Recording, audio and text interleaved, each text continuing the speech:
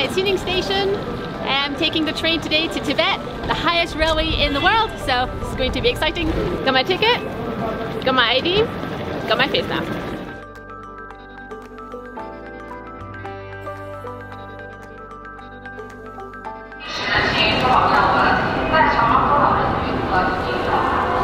It's going to be 22 hours all the way to Lhasa, so it's going to be a long journey.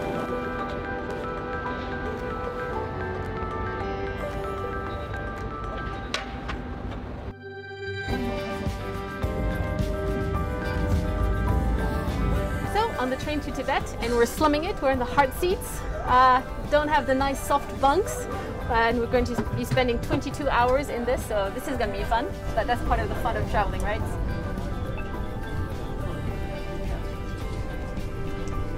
So the whole stretch from Xining to Lhasa is about 1900 kilometers long and about half of that is above 4,000 meters altitude. So you can imagine it's really, really quite high, and we actually get all the way to five over 5,000 meters uh, at some point. Uh, we go over a mountain pass, Tangula Pass. Uh, that's 5,072 meters. We'll be seeing if we get any altitude sickness. Hopefully not. So I've just been given this piece of paper that I had to sign and put all my information on. Wants to like check that you don't have, you know, high blood pressure, heart disease, other maybe breathing problems. I think I'm good. Safe to enter Tibet.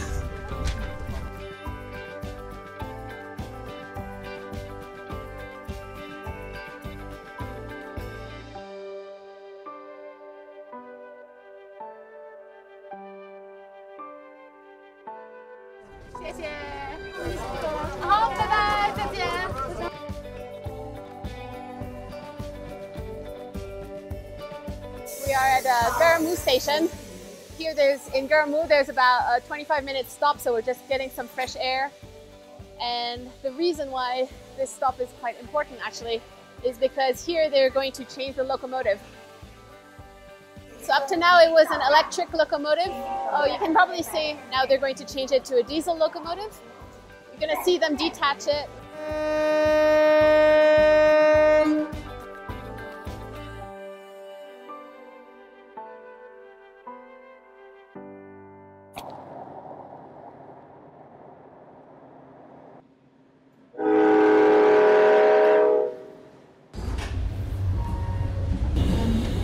I don't know if you can hear the, the hissing sound.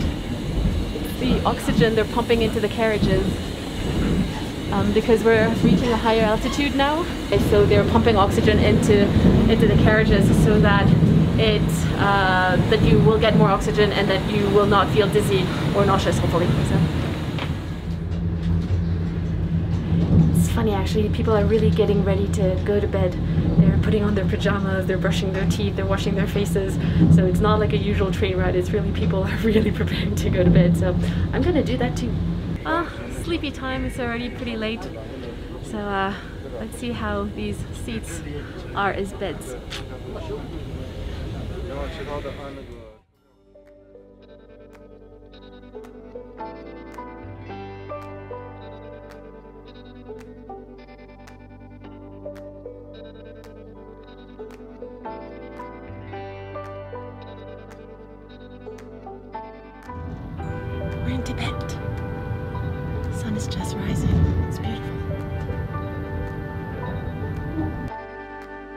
Look at the scenery. Wow. It's this is I think these are the lower Tangula mountains. The Tangula Pass is the highest point on this railway. It's 5,072 meters, but uh, we're a little bit lower now. I mean, this this is why people love taking this train and why so many people want to take this train because you get such wonderful landscapes along the way. So we're approaching Lhasa. We'll be getting in soon and people are actually already standing so I'm gonna get my stuff together, get ready to get off at the next train station. A lot of people waiting to get up.